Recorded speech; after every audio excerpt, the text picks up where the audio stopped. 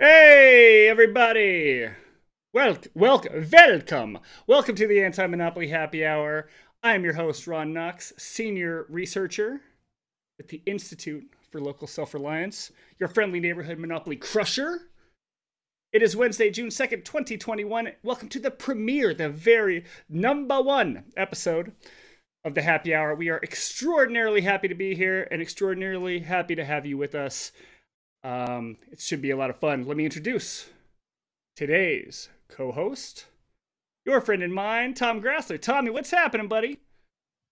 Hey, Ron, how's it going? Uh, Uh, thanks for having me. Uh, I don't have very many anti-monopoly bona fides. So I'm really just a guy, uh, but uh, happy to chat, whinge, analyze, uh, and uh, and yeah, just generally uh, generally hold up a magnifying glass to this society of ours, Great. and hopefully come out with some uh, with some solutions. We're going to come out with some solutions out of this episode. Yeah. Oh, are we? uh yeah we're gonna come out with a with a you know basically like a full a full uh array of of market-based solutions to show how you personally can uh can fix all this with your actions no, why? All right. I don't think we're gonna need any of that. We can't solve the problem because then the um, we wouldn't need the happy hour anymore. So let's not do that. Uh, we're gonna do we're gonna do news. We're gonna do DC, Washington DC versus Amazon. We're gonna do Apple versus Epic, the clash of the titans in court, and we're gonna talk to our very special guest, author, bookseller, gentleman, Danny Caine. We're excited for all that. Let's do the beer. Beer of the week. Beer of the week. beer of the week beer of the week beer of the week Beer of the week. Okay. What do we got? I am drinking. Just about to crack open a Odell Brewing Company Mountain Standard IPA. I think it's like a seasonal. I don't think this is like out all the time. This is like a seasonal they have. And I like it because it's freaking tasty. That's one thing. And then I like Odell's. Odell's is independent. I can show you. I can show you. Get it on the camera. There it is. See the little upside down bottle? Mm-hmm. That is their that is the Independent Craft Brewers Association uh, seal of approval, as it were. And it is your uh, indication that the beer you are drinking is owned by like a nice grandma somewhere. No, not really, but owned by like a small company or a family or whatever, not by a big, nasty corporate conglomerate like Budweiser, AB InBev as they're known, Miller, the other one, and so on. So I like that, like that, and also Odell's is great because Odell's is employee owned. Love you love to see it. That's what I'm all about. I'm all about democratizing the economy. What's up? So cheers to that. Tommy, you got a beer tonight? yes sir i've got a uh workhorse west coast ipa from uh workhorse brewing here uh king of prussia pennsylvania after the great uh Fed, after frederick the great uh, grandfather of uh, King, it's called oh, King, King of, of Prussia. Prussia. That's what it's called. home of uh yeah the, the place is called king of prussia it's Oh. uh home of a gigantic luxury mall uh anyone in philadelphia area would be like ooh that's the uh that's the fancy mall that uh with the good chipotle um but yeah n- named after uh frederick the great grandfather of uh of kaiser wilhelm everybody's favorite prussian um wow. wow. You okay? All right, that's great. How's the beer? Is it good? Is it tasty? oh yeah it's a it's it's nice and dank seven abv resinous citrus Uh, Workhorse is- pretty solid. Also, a big fan that they are distributed at my local Acme, uh, UFCW, of which uh, my father is a proud, proud union member. Uh, Acme sells beers now, and these guys are nice and local, sold in your local grocery store. So, uh, cheers. Mazel tov. Mazel tov. Cheers. All right, let's do. It's time. for News.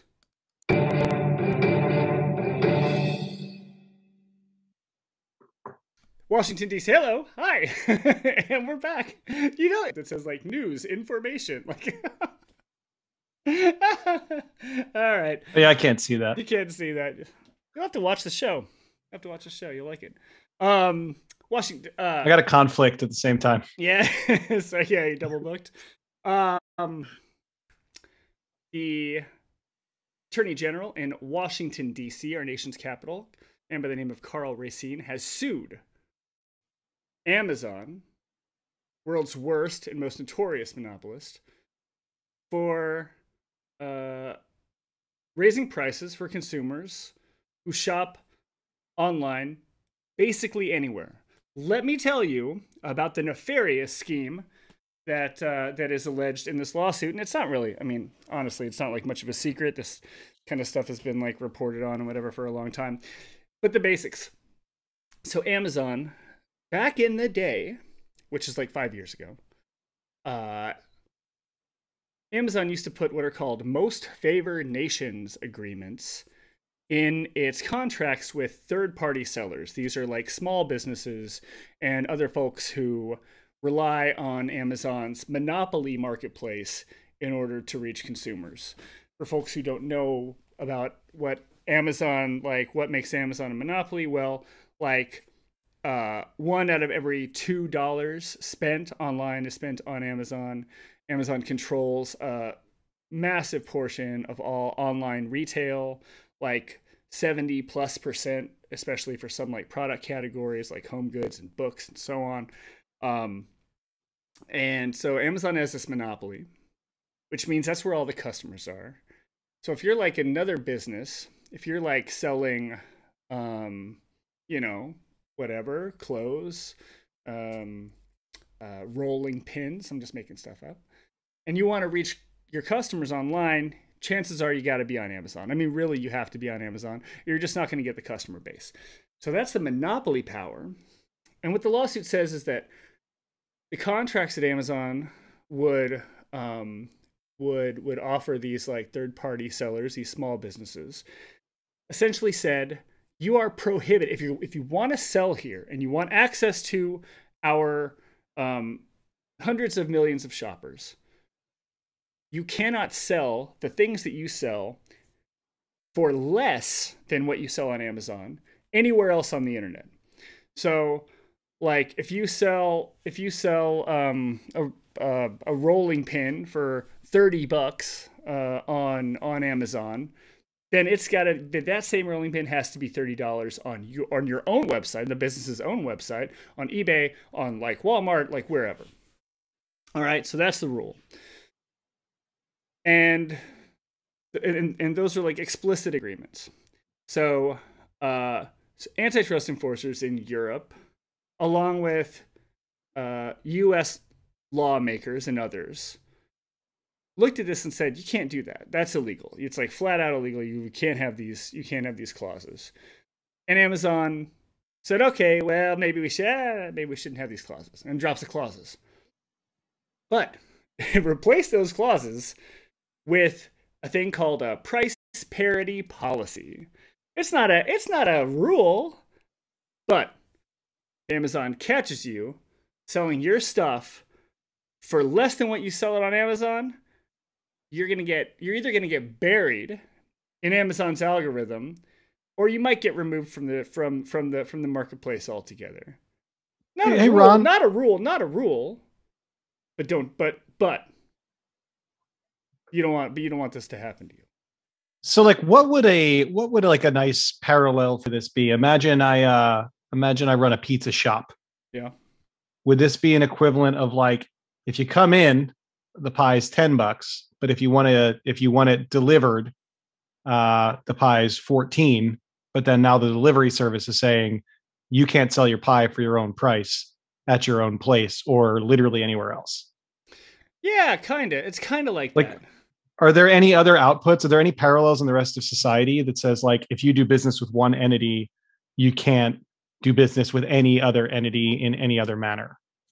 Yeah, I mean those are absolutely. I mean those, you know, exclusive dealing or exclusivity clauses in contracts, those are relatively common. They should run afoul of our laws intended to um, ensure open markets and ensure free competition. You know, decades of really terrible policy at the federal level and beyond, they aren't really enforced in that way. But yes, but dude, exactly. It would be it would be the equivalent if you if you own a pizza shop and you got to get your pepperoni from a guy, and that guy's a pepperoni. He's like he's he's the pepperoni guy. But you're a big you're like Pizza Hut or whatever. You're like you own all the pizza shops in town except for maybe a few. you get that pepperoni from the pepperoni guy at a price. And you tell that pepperoni guy, you say, look, if you want to keep selling to me, I own all the sh- I own most of the shops in town. If you want to keep selling to me, you're going to give me the best price. You cannot give a lower price to any of these other shops out here. And if I hear that you did, I'm going to find another pepperoni guy. That's kind of that's kind of what it's like. Does that make sense? And that's how this power is being exercised, right? Because normally you can just tell somebody to go pound sand. You're like, well, I'll go find another contract. I yeah. don't care. But if you own everything, then it's that that's the like that that and that's a monopoly. That's a monopoly. So a third party seller, small business that has to use Amazon to get to customers, it wouldn't dare risk getting buried in the algorithm so customers never lay eyes on the product and can just buy. I'm going to go back to the rolling pin thing. Okay, let's say there are five companies that sell rolling pins, or probably more than that, on Amazon. You don't want to be, you know, number five or number 10 or whatever it is, way down the list you know what I mean? You like you need to be up at the top and you're going to do everything in your power to stay up at the top. And so you're and so you're not going to break this price parity policy. And so and so you know, look, like the point is is that this stuff has been known forever. Like we've known that Amazon does this. Um, it's no secret that it bullies small businesses that rely on it in this way.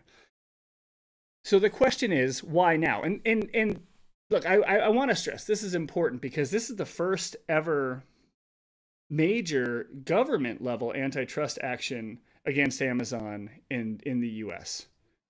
Yeah, what's the significance of our old pal Karl Racine here? Like why like is is there significance in the fact that it's DC and not a state and not a no. city AG? No, because it acts like a state. It acts like a state attorney general because DC, you know, DC is organized like a state. They just don't have um, they're they don't have like official statehood, but they're organized like a state, and the government is. So no, but could like the Macungie, Pennsylvania AG levy this?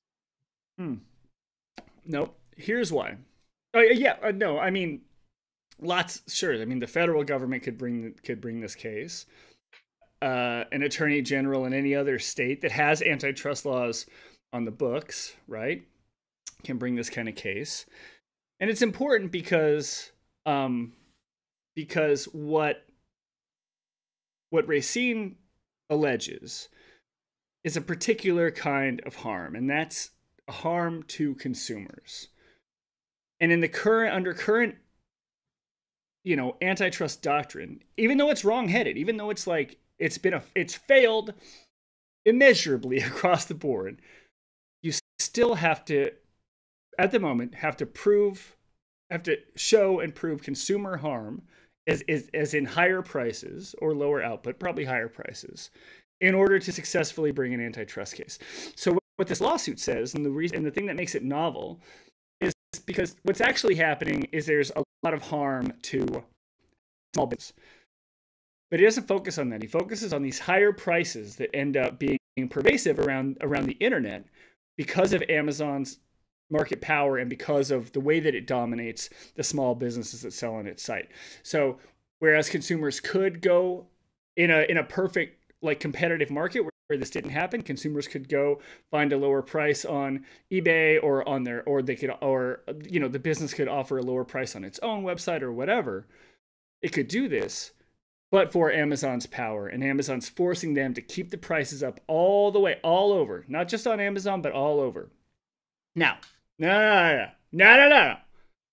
This is the this is this is the this is the most important nugget of this whole thing, and this is made explicit in the lawsuit and also um, my organization ILSR. So at the beginning, uh, we made this this uh, really really clear in a report that we did um, earlier this year called Amazon's Monopoly Toll Booth. I will drop a link uh, uh, in the chat here in a second, but but um, what is clear from the lawsuit is that the reason these prices is because um because Amazon, nickels and dimes, every small business, every independent seller that sells on its website, on its on its marketplace, because it can. Again, this is a this is it. This is a this is a uh, uh, a use and abuse of Amazon's monopoly power. So Amazon can say, you need to be on our on our marketplace because we got all the customers. Okay, you want to be on our marketplace? Here's what you got to pay. you got to pay our regular cut off the top just for like the privilege of being on this marketplace. Where, oh, by the way, Amazon is going to compete with you head to head if it feels like it. Amazon is going to like arbitrarily like bury your listing if it feels like it, or it's going to take your whole store down if it feels like it. You got to pay for that privilege. And then if you want the if you want to be prime and you want prime subscribers to be able to to to um, one click buy your thing, you definitely got to use Amazon's fulfillment. You got to use their you know their storage, their shipping, all that stuff. Got to use that, and that costs a price. And then maybe if you want the customer, if you want you know shoppers to see you, you probably you're probably gonna have to buy a little advertising, friend. Oh, from who? From oh, geez, from who? From Amazon, from the mothership. So then you add all. So then so then you add all this up. And in order for these small businesses to even make like a mar like the world the world's thinnest margin of a profit on any of this stuff, they got to put their prices up. So Amazon artificially inflates these prices. And that's one thing. And what Racine is saying is not only do you do that, these prices are artificially high, all because of your dominance.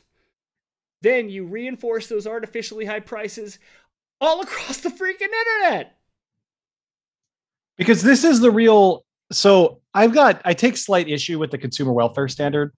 I feel, I feel like, you know, this is some real armchair quarterbacking here, but I feel like the only, the, the only like welfare is really the, is, is, is really the operative term here. Like, I feel like the, in this case, they're, they're judging it by prices. Like your welfare is directly like, is it more expensive or is it not? And that's kind of the only measure I guess that's provable in court. But I feel like that little political football of like the consumer welfare is like, well, is it slightly more expensive or is it slightly less expensive? Or like, I feel like that incentivizes it to like track just a hair above inflation so that you don't see the price creep. Like if mm-hmm. it jumps too much, like they'll clearly get got because they just have to kind of stay within the bounds of that consumer welfare standard. Where I would argue on the other side of it, consumer welfare is also like not having really shitty products because like as those as those yeah. margins get thinner and thinner like not just your prices getting higher and like at a creep that your average frog boiling in a pot isn't really going to notice but at the same time like yes it's drifting up that like your $13 plastic piece of shit thing you bought on Amazon is now the 13.75 and then in 2 years it's 16 it's also the quality of it is getting lower and lower because they need to squeeze like there's continual pressure on the production quality of, of the goods that end up on there as well. And I feel like that's much, much harder to kind of crystallize and like make an argument in a court of law. So I feel like consumer welfare just gets to be like, okay, is it slightly more expensive or is it not? And I feel like it's a myopic way to measure that kind of thing because consumers are being harmed in a million ways that aren't just like my price when I click on the Amazon thing. Mm. It's like the ripple effect that it has through the entire marketplace about like the collapse of our neighborhoods and like the oh, death yeah. of brick and mortar retail like all of those things to me are also consumer welfare and i feel like it's really hard to get up there and and and make that point and it's almost like when we measure consumer welfare in purely price and price creep we're still playing Amazon's little game. Oh, of course we are. Do it, of course. Look, there's some there's some antitrust folks like scholarly type folks and economists who um who uh who advocate for this thing called like the total welfare like standard or the or the the, the real consumer welfare standard and that kind of gets to what you're talking about right because it's not just price it's not just like as if we are just going to be like shepherded into the lane of consumers and that's what we're going to be under like late capitalism okay that, that's fine. But so then what are all the things that make uh, the the process of consuming goods uh, one that one that could um, that could bestow some welfare upon us right? Yes it's low prices but it's also like innovative goods. It's also like it's also access to like necessary things when we need them, which means like there has to be resiliency in the system. There has to be like, you know, there can't be you saw like JBS beef gets, you know, gets hacked for one day and their and their um, meat processing plants get shut down for one day and like people like, like literally lose their jobs and their homes and like you know grocery store shelves empty Just in time economy, baby. Is, is that is that wealth? But is that what anyone's welfare, right? I mean, so that's the question. My point on that note is that like we, like anyone, any rational person, will you know will be able to to to understand that like we are not just consumers. That is not the thing that we do. We are not cons- we yes we do consume, but we are also like workers. We are people that have jobs. We are members of our communities, right? We are voters. We are like all of these other things, right? The the like being a part of society is a much broader spectrum of of of duties than going to shop for your stuff that you need. So that's my thing. So the consumer welfare standard, even the even like the real consumer welfare standard, I think misses the mark because it because it doesn't get to all these other roles that people that people you know play and the other sides of the market too. It's not just like yes people go buy things from walmart but where does walmart get their stuff? They get their stuff from suppliers that they can squeeze. You know what i mean? And they and you know and so on. There are these all these ripple effects and they have like and you know and they have worker labor is just an input for walmart so they can just pay workers whatever they want because sometimes they're the only employer in town you know? That kind of thing. Anyway a little bit off track there but yes. But yes. So the lawsuit racine's lawsuit um, you know, this DC lawsuit, it it it talks about the you know the harm to small business in in Amazon's arbitrary monopoly tolls that it charges everybody just to use its infrastructure. But it frames it in a way that uh, is I'll say more likely to have success in court. And I think that's really, really super important. Who knows where it'll go? It's early days. The lawsuit just got filed, so we'll see. Um, but it's uh, but it's exciting uh, uh, and interesting stuff for sure. And I'm assuming that you know, I think this is just like this is the first crack at this nut, so to speak. And there's there's a lot more coming Amazon's way. I could I can only assume does this have uh, any ripple effects on uh, the Crystal City development? No. Is Karl Racine putting no. this whole thing on the line? no, I don't think so. I don't think so. But but you know what's? But look, I'll say this: in the lawsuit is really important. In the lawsuit is a request for structural remedies. What do structural remedies mean? That means that you, in order to fix this problem, you must change the structure of the company. That's what it's asking the court to do if the court if the if the judge sees fit right? That is is huge because you would look at this problem and you would say okay one of the remedies is just to just to kill these price parity clauses. Let's just squash those and then the problem goes away and then we ha- and then everything's good.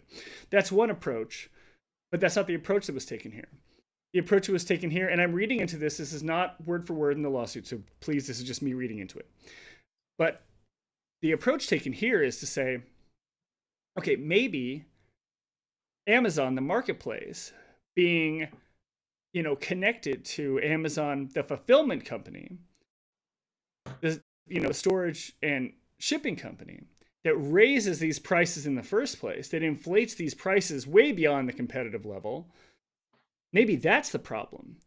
And if Amazon was not both the marketplace and the shipping company, maybe we wouldn't have these high prices in the first place and this and this wouldn't there wouldn't be this consumer harm because because this wouldn't happen.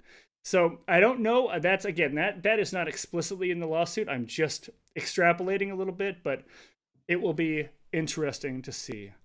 Let's move on. We have another news item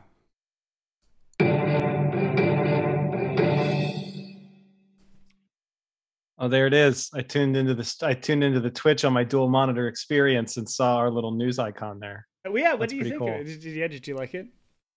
Yeah, it was, it was, it was great. I loved it. It's really high tech. I used the most high tech graphics I could find. this week, a mega, an epic. I'm, going to use the word epic because I have to.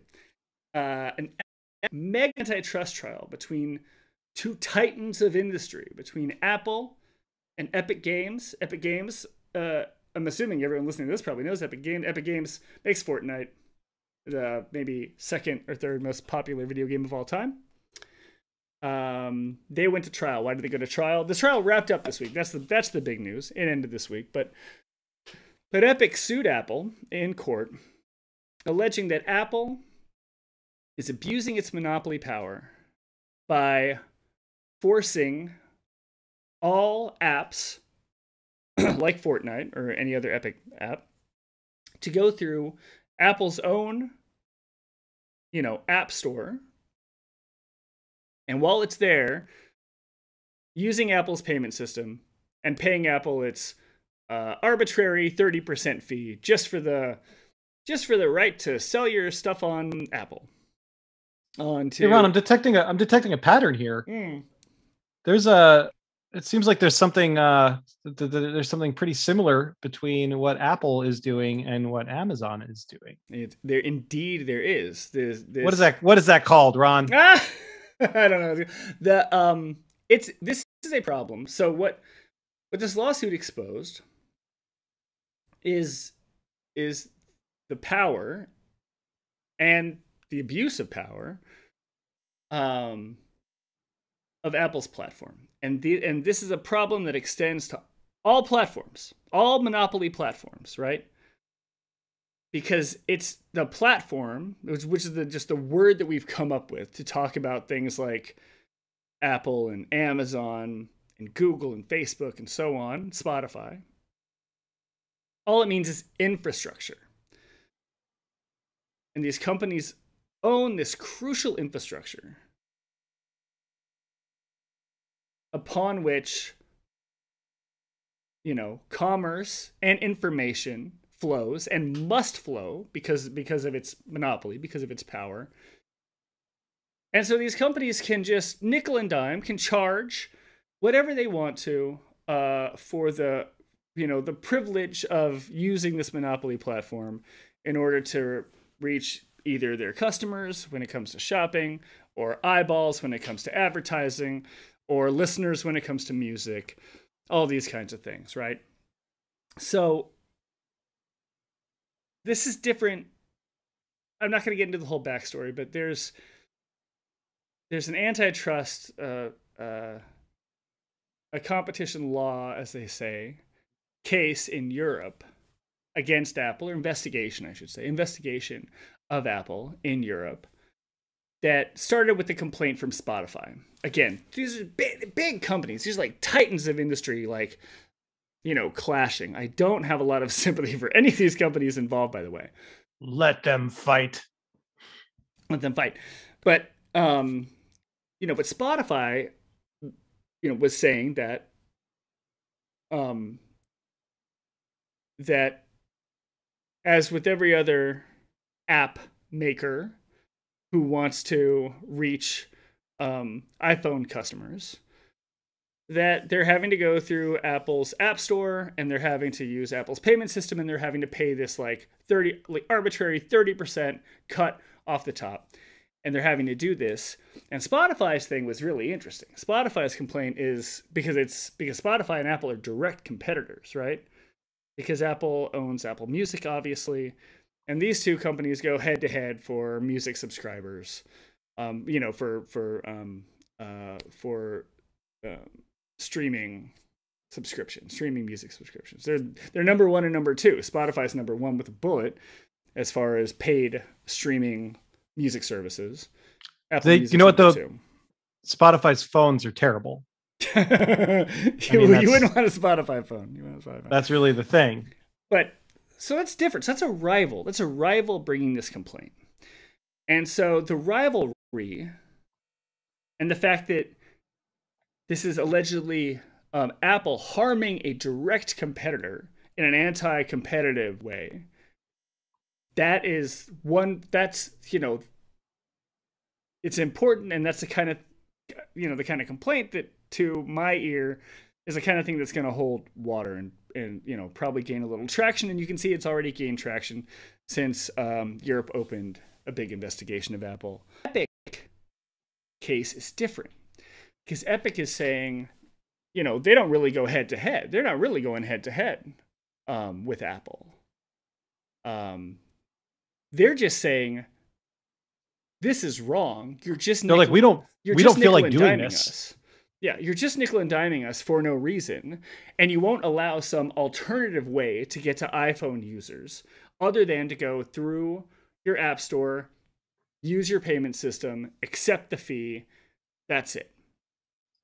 So I think that's really, really, really super important. Um, uh, so in a in a way, do they have less of a as almost like the receiver of platform services? Do they have less of a leg to stand on without some kind of overarching monopoly ruling? Because otherwise, they're like, yeah, cool, we'll go. Don't use our business. See you later. I don't know. I don't know if they have like you know. I wouldn't put it that way, but I it, but it's different than being directly in competition with each other. Like Spotify is saying, look, we got to pay this fee we gotta you know this is eating into our our revenue because we got to pay apple meanwhile apple's like apple music comes on the phone. You can't get it off the dang phone. It's like free with the thing right? So that's different. Now that is the you know that's real you know that the there are different terms for that in the law, but you would say that is an, an, an instance of raising rivals' costs, unfairly raising rivals' costs because you um, own infrastructure that they have to use in order to. Which is like clear Gilded Age anti monopoly old school stuff. Abs- yeah, I mean, absolutely. Just, just uh, you know, pretty clear stuff under the law. The Epic lawsuit and trial has been really interesting, but just different. Because again, Epic is just saying, look, you have a you have a monopoly in this market. And the market is the question. What are we what in what's the industry we're talking about? Well, the market we're talking about are like iPhone users. Not all game people. Everybody that plays Fortnite, right? We're talking about iPhone users. So and like, I, it, do you have a leg to stand on when you're like, okay, you have a monopoly on this thing? Can I just keep narrowly defining monopolies? Like, not to defend Apple here in any way, but like, couldn't I, as a competitor, just narrowly defend like, oh, the, you guys have a monopoly on people that are eating at this Taco Bell right now, mm. and you're not letting me sell tacos. And like, but what else am I going to do if I want to sell tacos to the guys in this Taco Bell? Look, I mean, they could cut, like, but that but that question cuts both ways. I understand what you're saying, but that question cuts both ways because, like, you know, pro monopoly people, right? Like corporations and they're and they're lawyer, they're like hired lawyers and they're hired economists have been trying to like, um, you know, game the market definition system forever. And it works and it works both ways. So like plaintiffs will also allege the market that best fits the argument they're trying to make that there's all been, gamers. that there's been there's been monopoly harm.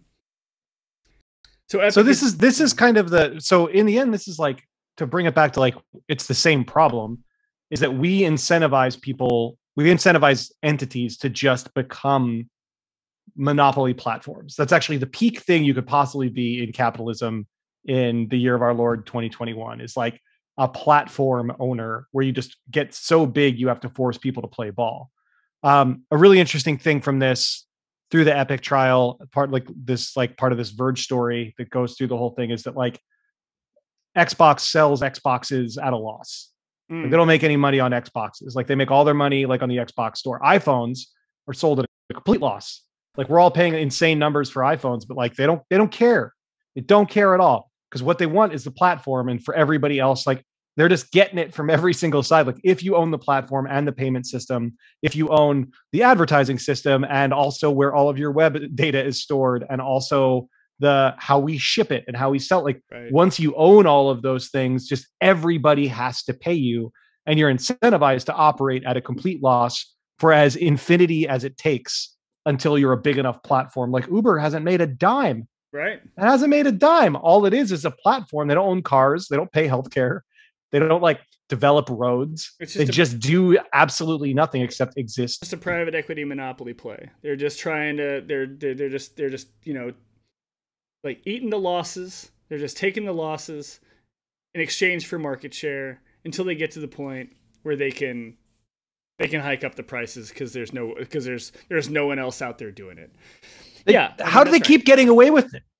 Like, isn't the problem like, isn't the problem event like I guess you know you can spend your money on whatever you want but isn't the problem on private equity the, dummies no, that just pro- keep look the problem why can they keep getting away with it we've we've we've already we already mentioned the issue right it's that for the last 40 years in the world of monopoly regulation and anti-monopoly regulation all that mattered was price right and so because uber's back and, and we're getting a little bit off the trial. I do want to get back to it because there's some really interesting stuff that came out in the trial. But real sorry, quickly, this is mainly what I do is get you off track. You're getting me off track. With... That's fine. That's fine. I like it. You know, but Uber's thing, and this is, and it's not just Uber, by the way. Like Amazon didn't have a, a profitable year until like three, four years ago. If you have the private equity backing, you have the Wall Street backing, you have all this money, and you can take these losses and you can convert those losses into low prices for people under modern antitrust doctrine, which is not traditional by any means. This is like an extremist view of what this sh- of what this should be. This is like the libertarian view of how uh, of how this regulation should work, right? If you can offer lower prices, you're good. And all the other stuff, all the other waves and waves of harm that are happening in your industry and in the overall economy don't matter because this price is low. So every every cab driver making a middle class wage with a medallion that gets put out of business by Uber, that doesn't matter. That's just one guy they don't have to fight later. That's, that's just one guy. Yeah, it doesn't matter because um, some schmo who's you know who's uh, who's trying not to drunk drive home from the bar, uh, is paying half of what of what they would pay in a taxi. You know what I mean? So like so anyway, so that's so like you wonder how this can happen. That that's exactly how this can happen. It's just it's just been bad policy. So um so yeah, so that was really interesting about the Xbox, and it's really interesting to look at loss leaders across all these tech companies because they're just they're trying to get you in, they're trying to get you onto the platform, they're trying to build the, they're trying to grow the platform, as you said, so that they can nickel and dime everyone who's then forced to use the platform to like reach an audience, whatever that audience looks like, whether they're buying something or they're or they're reading something or whatever whatever it might be. The other really interesting thing I wanted to point out um, that came uh, it was mentioned in the trial. It kind of came out earlier, but the trial really brought it to light. Is again, I'm, I'm gonna I'm gonna come back to Amazon because Lord, Lord have mercy, this this fucking company is so wildly powerful that they can literally bully another massive wealthy monopolist like Apple at one point the most valuable company on earth. And what came out in this trial is that Amazon, it, it, again, mentioned in the trial, had come out earlier, but, but I want to bring it up. At some point, uh, if you, you know, like you, you try to use Amazon Video, you try to use it on the phone or the iPad or whatever, and you can't buy a movie on Amazon Video, or you used to not be able to buy a movie or buy a like a series of shows or whatever, like on the app. And that was intentional. You still like you still can't buy like an ebook on on like Audible. They even on its own, which it owns. That's even on its own platform. A, yeah, that's a different that's a different story. But yes, that's a different story. But but Amazon forever was like, look, every transaction that happens within the Apple ecosystem has to go through Apple's payment system. Apple's going to take their 30% cut. We're not messing with that. And for every other, most every other company on earth, Apple says, okay, tough cookies. That's what, that's what you want to do. Okay. But not Amazon, buddy. No, sir. You open up Prime Video app on your iPhone and you can rent movies, buy movies, buy a show, whatever you want to do. And guess what cut of that Apple gets? Nothing, bro. Not It's not 30%. Bro, nothing. Because Amazon just says, look, I, You need us. You need us more than we need you. So so this is what we're to do. We're to sell stuff and you're not taking nada from it. That that is one, that is true power. And it also demonstrates that there's a different set of rules. This is the problem with the platform in the first place, is that the rules of engagement on the platform are entirely arbitrary.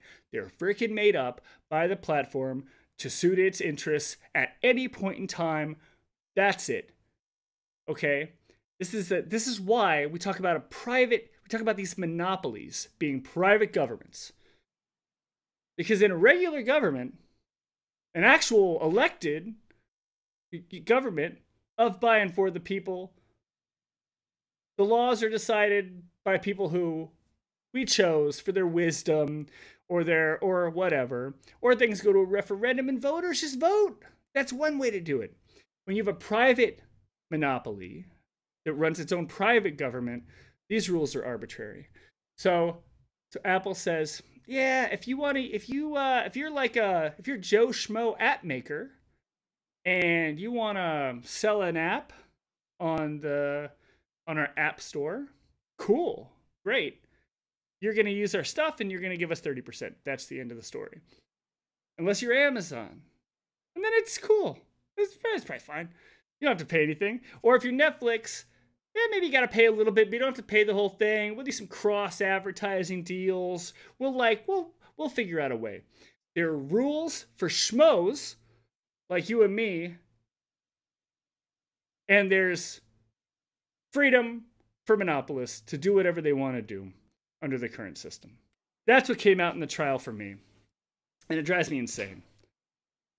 I hope Epic wins this one, but we'll see. It's a, it's a puzzle. The judge has got to make a decision. I don't know when it's going to happen. All right, that's it. Great. that's um, the, that's the news. yeah, I think it's uh, I think it's all bad. It's all bad. Um, yeah, I hope I hope Epic gets uh gets uh to put one on the chin of old Apple there, but uh, uh frankly, like like I was kind of saying before that like their argument is just kind of like we don't feel like it and like while I agree with that sentiment, I feel like some uh some like neocon judge might not. So who knows? Who knows? All right, we're gonna skip story time this week. We don't have time for story time because I want to get right to our guest of honor, very special guest this week. He is the owner of the Raven Bookstore, right down the road from me in Lawrence, Kansas. He is also the author of a new book. Used to be a pamphlet. Used to be a flyer or a zine. A zine. A zine. Um, now it's a book called "How to Resist Amazon and Why." Ladies and gentlemen, Mr. Danny Caine. Hello. Thank you for having me. So glad to be here on uh, on Twitch and on, on Amazon owned Twitch. Amazon owned Twitch, exactly. Using the master's tools. All right. I want to get to um I want to get to your book, How to Resist Amazon and Why. And I want to read a little passage from the intro because oh, there it is. You got it. You got it. I want to read a little um a little passage from the intro because I like it very much. So, um it starts starts here. Uh, it doesn't start here. It goes in uh, the the introduction of this book is wonderful. It talks about the passion um, that Danny has for selling books, um, and and the passion that his employees have at his independent bookstore, uh, right there in downtown Lawrence, Kansas. And then and then it comes here. Since 1995, we watched as Amazon has become a bigger and bigger threat to that work. That's the work of selling books. There has never been a company as big, powerful, and pervasive as Amazon. Is disruptive to the ability of small businesses to stay afloat, Amazon is a continuation of the story begun when Walmart and other megastores began their rapid spread. Amazon is indeed the latest link in a chain of threats to the American retail small business from shopping malls to chain megastores to online e commerce giants, each acting in their own pernicious way to destroy the American downtown. That's powerful. These are powerful words. But let me ask you this Danny, you run a bookstore. Amazon's a bookstore. You guys are on the same team, right? What's the problem? What's what's going on? Tell me about that. Well, it's uh it's a good question. Um, we we run a bookstore because we love books. We sell books. We're very good at it. We serve a community that's interested in buying books. The story begins and ends with books. Uh, Amazon, as we've been discussing, does so much more. They're um, a, a, monopoly of an e-commerce platform. They sell shit on the platform at the risk of the pe- other people who are selling on the platform. They they own Twitch. They have Whole Foods. They have Amazon Web Services, which holds up uh, majority of the internet. They have such a giant portfolio uh, in so many different ways to make money that they can use their their retail arm to kind of um, experiment and, and, disrupt and try to force their, competitors out of business, even if it means they don't make a ton of money on retail. So they're not actually in this to sell books. They're they're in this to to gobble up people's data and to gobble up more and more power. Um, so we're not, in fact, playing the same sport at all. And like it used to be, and it should be uh, and in some lucky places like Lawrence, Kansas, it still is. If you want to sell books to a literary community and do a good job of it, you can make a good living and, and pay a good wage to your employees. But that's getting harder and harder uh, as Amazon and companies like it get more and more powerful. Yeah. So look, uh, uh you got to explain to me and to and to the folks watching, like you know how you got here, right? You know, you start off as a bookseller. You buy a bookstore that you love that you used to work at um, and you go from that to now being essentially uh, a leading small business voice in this fight against monopoly power. Bro, that's a journey. Like, you know what I'm saying? Like that's a and this is and this happened in a few years. How did this is like Lightspeed. Tell me how how your life kind of took this turn and how you got here. Yeah, well, I, I, I have to give a lot of credit to the Ravens' original owners, Pat Kehde and Mary Lou Wright. They opened the store in 1987. In November of 1997, a Borders Books and Music superstore opened right across the street, and like that was uh, small business trial by fire number one. And they did an amazing job uh, leading the Raven through this this extremely difficult era of operating across the street from a business that had a much bigger inventory, uh, much lower prices and a lot more corporate power in the book world than they did, which is a story that's of course familiar to us now. And they did it by uh, by speaking really clearly about the importance of small businesses and the risks of corporate consolidation and the threat a place like Borders has to a place like downtown Lawrence. And I just took their methods of of kind of clear-headed communication and, and passionate advocacy and applied it to our our current era. Of course, as Borders faded away um, and and Barnes and Noble chugs along, the bigger threat is is Amazon now emerging from their ashes, uh, and it, it's just a matter of of educating and telling our story. They use newspaper op-eds and, and newspaper interviews and letter writing campaigns. I use Twitter and social media, but it's really the same story and the same fight. Uh, and then a couple of the tweets got some attention, and a, a, bookstore owner friend of mine encouraged me to turn some of this stuff into a zine. This is the original. There it is. there it is. I got. Self-published I got, a, I, got a, I got a stack of copies of that uh, nice. uh, in my house. Yep. Thank you. Yeah. Um, so this is just a, a, collection of the the advocacy and thoughts of of Danny Caine and the Raven Bookstore over a year or so. Um, I, I, originally started self publishing it. Um, even within the first week, uh, demand from other bookstores and our customers was so high. I was spending every night at my dining room table stapling zines, which felt like cool and punk and DIY. I loved it. Uh, yeah. But like, I have a wife, I have a kid, uh, I have a business to run. Uh, so in steps uh, microcosm publishing out of portland they put out their own version of the zine and helped me distribute it they're really cool they're one of the few publishers who have completely cut ties with amazon very, very few publishers. It's because of the problem we've been talking about that people feel like they can't. A publisher feels like they can't sever ties with Amazon at all. But Microcosm is like, we're going to, uh, and it's worked out really well for them. They do their own distribution. Um, their, their version of the zine sold uh, five figures, more than 10,000 copies. And they were like, dude, this is a runaway hit. People are interested. People want to talk about this. Would you be interested in expanding it into a book? So we went back and forth about the concept a little bit.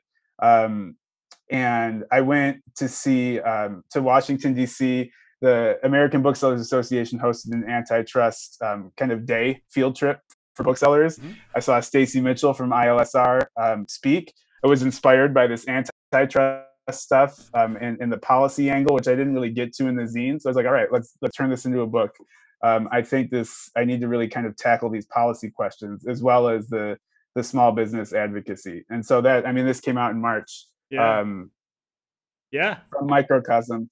now you're front, in Portland. And, and now you're front and center. You're part of our Small Business Rising Coalition um, uh, within, uh, within. I yeah, and I cited uh, Amazon's Monopoly toll booth in the book. I cited a ton of ILSR work. Great. Um, I, I talk about that thirty percent figure all the time because it's just truly staggering. Yeah. Um, I can't imagine running a business handing over thirty percent to the the the platform that I use. That's ridiculous. Dude. It would we would last a couple weeks.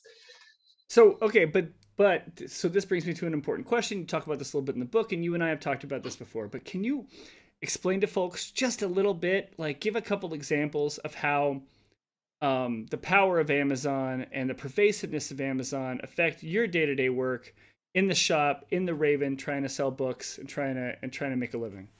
Yeah, well, I mean, number one, um, the the lawsuit, Racine's lawsuit, in in terms of raising prices, is really interesting. Um, but like one way Amazon truly fucks up the book industry is loss leading um, on book sales and uh, very regularly, really frequently, you'll find a new hardcover book on sale at Amazon for $14.99. This is a 27 or $28 book, uh, and that's not that's not a price I make up. If you, uh, oh, here's a nice anti-monopoly book. This is Monopolized by David hey, Dayen. There you go. Um, this, the price is printed on the jacket right there. It says $27.99. The publisher sets that price uh, in order to fairly compensate the author, the people who made the book, the editors, publicity, all that stuff. That's the price of the book we're not overcharging for books we're charging the price of books but amazon because of all this other revenue streams they can they can fuck around and, and loss lead um, and customers really, know it fun fact metallica pulled that with the 499 ep back in uh back in 1986 they're like this ep is only 499 and uh if those if those jerks try to sell it for more they'll know and i was like Oh, Metallica! If it, only you know what will become of you. It's funny. Yeah, I was gonna say it's funny they chose 1989 because they never made a good album after then. Okay. Whoa. All right. Oh. all right. All right. Uh, so yeah, I mean, we we have to operate with the knowledge that that customers know they can get a lot of these books online for 40 or 50 percent off, and 14.99 is actually below my costs. Uh, so selling a book at $14.99 would be the equivalent of giving a customer the book for free and also handing them five dollars from the register. It would have the same effect on my bottom line. And Dude, so every oh my god, that's so brutal. That's so brutal. And like every decision we make is based on the fact that customers know this. So we we get creative and we get good at what we do, but that's kind of underlying the fact of everything we do. And then there's the, the Amazon is now publishing their own books. Amazon is squeezing the audiobook market. Um, Amazon is affecting how books are designed because people are trying to design covers so they look good on on the tiny little Amazon um, uh, you know profile screens. So it's just they affect nearly everything we do. And I, you know, again, we try to do this out of the love of books, but I, I, think Amazon takes up way too much real estate in my head. I wish I could focus more on the books, but we all kind of have to deal with Amazon a little bit. That's right. Let me ask you this: you, um, you know, look, like I know there's like some, uh, you know, selection bias when it comes to uh, your customers, the people who shop at indie bookstores. You know, I feel like they're usually a little more kind of tuned into what's going on, and they're they're a little more engaged with you know with issues maybe than than your average person i don't know. But do the people you interact with um, on a daily basis on the streets of lawrence lawrence being a it's a college town pretty liberal place but um and a pretty educated place honestly but are the people that you interact with like do they get this stuff? Are they like you know there's this whole trope of like somebody goes into a bookstore like flips through the books, figures out what they want, and then says thank you, and they go like like the people who shop at the Raven and the people you see every day are they kind of are they getting it that Amazon is a problem and and is really a threat for for um, a lot of other kinds of commerce? I think they do. Um, it, it's it's been amazing to see how much this has resonated. Like again, when I made the zine, I I thought we were going to sell 50 at the Raven, and that was going to be it. I, I, had no idea we were going to sell 30,000 copies of this thing. Uh, and so, like that alone, I think is evidence that people are interested in talking about this. And I hear all the time uh, people telling me like I, you know, I canceled Prime because of the zine, or I, I didn't know they owned Goodreads, or, or stuff like that. Right. Um, and I, I really do think people are are more interested in, in learning about this and talking about this, and I really do feel it uh, kind of sinking in. It's a little weird when people tell me they canceled Prime because it's like I don't want to pin too much responsibility on the consumer. I think that's that's a false thing. Like this needs to be yes. a government. Yes. There needs to be a government solution to this. Um, but if like if people learn about it and are motivated to divest, I mean, who am I to complain? Uh, but yeah, I, I, think people really do. And I, one of the things I, I like about Lawrence is that it's managed to keep its its downtown district full of small businesses basically thriving for for a while. And, and most of the people I know down there are still there after an incredibly difficult year. And we've got bars reopening instead of closing. Um, all the retail stores I'm in communication with managed to to kind of squeak through. Uh, so the community gets um, the importance of small businesses and independent retail. Um, I think in large part because the the efforts of the original Raven owners and their their fantastically effective kind of education comp- campaign in the the Borders era. So yeah, eh, people do get it. It is a challenge. Uh, people love Amazon. It's really convenient. Um, they sell everything. It can be hard to avoid, but I do see this discussion taking hold uh, more and more, and I'm really hopeful about that. Absolutely. Thank you so much, Danny. Dude, I can't. I I love I love talking to you. I really do. Your um the work you've been doing uh is incredible. You've like taken um you've like you know you've taken one little piece of advocacy and you've made it like an issue, and you've been an incredible champion for it. Um, so thank you so much. Uh, Thank you. Literally, I couldn't do it without the Institute for Local Self Reliance. You guys, I could say the same stuff about you. So thanks so much, and thanks for having me, bro. It's symbiotic. It's a total pleasure to have you here. Thank you very, very much. Uh, I put the for folks uh, on Twitch right now. I put the link to the book for Microcosm Publishing uh, in the chat, so check that out. Um, it's a wonderful book. Uh, How to Resist Amazon and Why. Again, from the Raven Bookstore, Danny Caine. That's it. Oh, we made it through our first show.